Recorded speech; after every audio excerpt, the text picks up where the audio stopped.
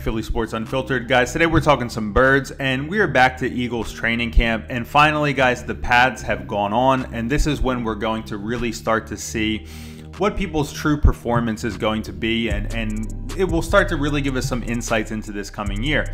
So the pads are now on, and this is the first padded practice that the Eagles have had for this training camp.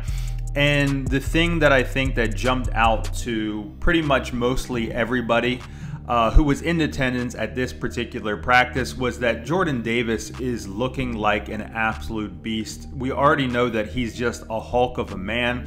He's incredibly strong and incredibly powerful. But today he was really blowing up offensive linemen. He was putting people on their ass.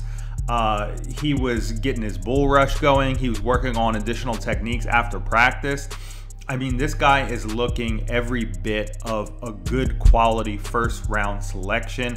And I think he's going to be a stud this year. I mean, he's already working with the first team, uh, and he seems to be turning everybody's head, whether it's people that are on the offensive line, uh, whether it's people that are on the defense with him. Everybody's looking at this kid and they're astounded by his size, by his strength, and by his work ethic. And um, we've seen so far in Eagles training camp, uh, Jordan Davis has been working with Jason Kelce after practice and trying to learn little tips from him on things that he can get better from, you know, the offense's perspective, like understanding how are they going to game plan against you? What are some of the things that you can do to try to counter things that good offensive linemen are going to do to you in the league. This is great to see when you're going to the other side of the ball and trying to get from the perspective of your opponent and we all know that Jason Kelce is a great mentor. And on the other side of the ball, uh, Kyzir White was commenting on Jordan Davis, and he's just like, man, this dude is huge. He's never played with somebody like that before. He's glad he's on their side, and he thinks he's just going to clog up everything. I think Jordan Davis is going to have a big year. I've said it before on this channel. I do think that Jordan Davis is going to end up kind of overtaking Fletcher Cox probably midway through this year. We'll probably see him beat him out in reps. And my personal belief is I think that Jordan Davis is going to surprise us in the pass rushing game because I don't think that he was giving much of a chance to rush the passer in college. Uh, and I think that he really has the tools to do so because it's not just that this guy is huge, he's huge and agile and fast. Like, He's already has a great bull rush. He's working on other techniques. I, I honestly think he's going to rack up a couple sacks this year. Um, second thing I want to talk about today is Jalen Reagor. You know what? It's another year. It's just the same thing with this guy. Um, I just want him to be cut. I, I, want him to be off the team. I just find him to be a mental midget. Uh, you know, in addition to just not being very talented, not being worthy of a number one pick he just can't get out of his own head. He just really can't. He's worried about what everybody else is saying, what everybody else is tweeting. He, you know, deletes his Twitter account like several times every season. He fights back and forth with reporters. He gets into argument with, you know, Joe Schmoes on Twitter, like people who aren't even a reporter, like just some random people. Uh, the guy, he he's a little bit too sensitive to be able to be a professional athlete and he he thinks he, he must think he's way better than he is. He must think that he's actually had some type of performance in the NFL because there was a tweet by John Clark and John Clark is just reporting the facts on what's been going on at training camp. Like Jalen Reagor, another drop. He's getting out muscled and outmaneuvered by DBs on the second team. And he's just said, "Yo, bro, you got to stop all this cabbage shit. Basically, you got to stop lying."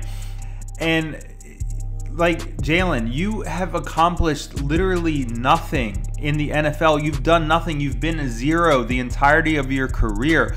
All you do is drop passes and disappoint.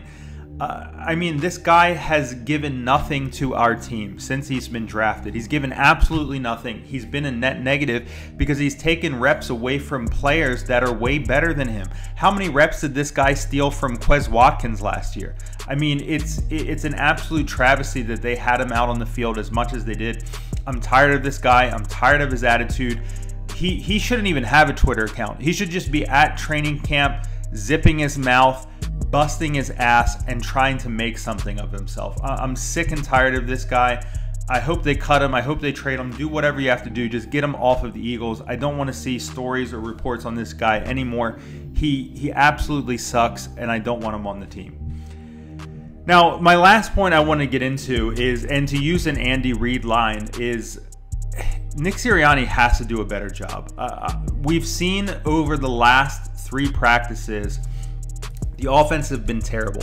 And a lot of people were saying, well, you know, before the, you know, pads come on, the defense always has the advantage. Okay, yeah, it's true. Defense normally has a leg up on the offense to start training camp. And yes, the defense knows the offensive playbook. Yes, you know, it's easier for a defense to gel. But at the same time, if you are a coach and you have a young quarterback, okay, this is the most important season of his entire career, of his entire life. And you're seeing him continue to struggle. You're seeing him continue to not have success. Give the man the reps that he needs to perform something. Make him stay on the field until they have some success and catch that positive momentum going forward. Like today's the first padded practice, okay? This is Jalen Hurts' stat line from today 9 of 11, zero TDs, zero INTs, okay? He basically couldn't get anything going, and it's been the same thing for the last three practices. He, he was doing a lot of checkdowns, he wasn't able to push the ball down the field, he's making some bad reads, he's missing receivers. Now, he, he's not getting a lot of reps. He's not getting a chance to get into a rhythm. You had an entire practice and the man threw 11 passes. How is that possible? That's like 25% of one game. You know, like he's not even getting the amount of reps that he would get in a normal game. Like this is supposed to be practice.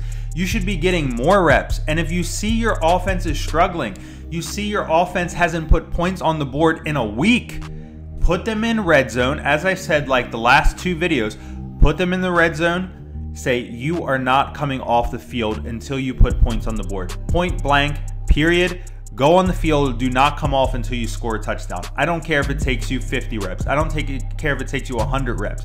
Go on the field, score a touchdown, have something positive to go into the next day. Okay.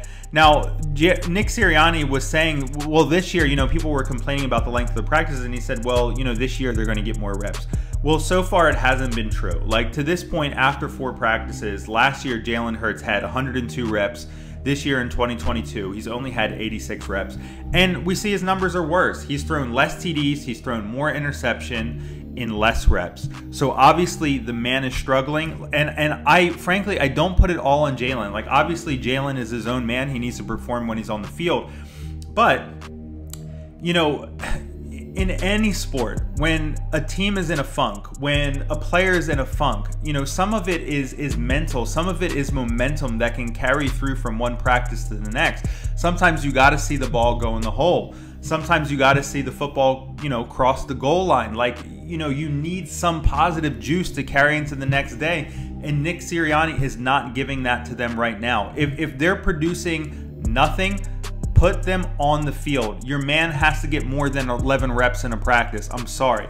11 reps in a practice, that's that's ridiculous, Nick. Like Nick, he absolutely has to do a better job. He has to get this offense rolling. We were not ready to start the season last year. It cannot happen again. It cannot happen again. But anyway, guys, that's my read. I know I'm making a lot of this, but uh, it's just really frustrating that as a coach, you know, as in tune as Nick Sirianni seems to be with a lot of little things that can, you know, kind of push players' buttons, like he's completely neglecting, you know, the momentum and the trend that we're seeing right now from the offense, which is they're in a funk and we need to do something to change it. And I hope he wakes up. I hope he gives them more reps. I hope he finds a way to make sure that they have some success uh, so they can kind of vibe and feed off of that energy and, and start having some better practices because we cannot afford to come out of the gates as crappy as we did last year. We just can't do it. That's all I got for this one, guys. I'll catch you in the next one. Until then, go birds.